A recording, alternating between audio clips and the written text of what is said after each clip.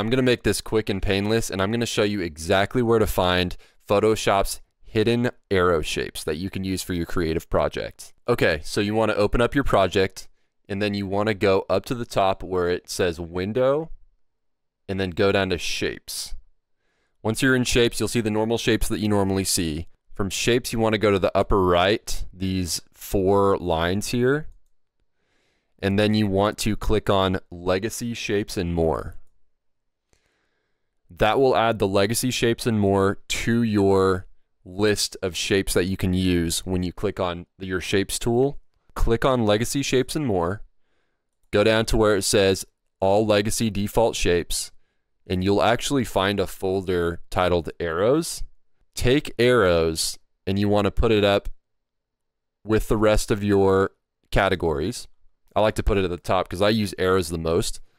And then look inside, and there you have it. You've got 20 arrows, different variations of arrows you can use.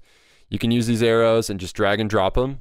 You can change their color if you want. You can rotate them and you can make them bigger, smaller, whatever you want to do. But there you are. You've got arrows now. Now, if you want to come back to this, you don't have to go back to window and shapes. You can just go over here to your shapes tool and then come up here to the top and you've got your arrows category right there. So that's how you get some arrows for your project. I hope you got what you needed from this video. Feel free to leave a like, comment, subscribe, and have a nice day.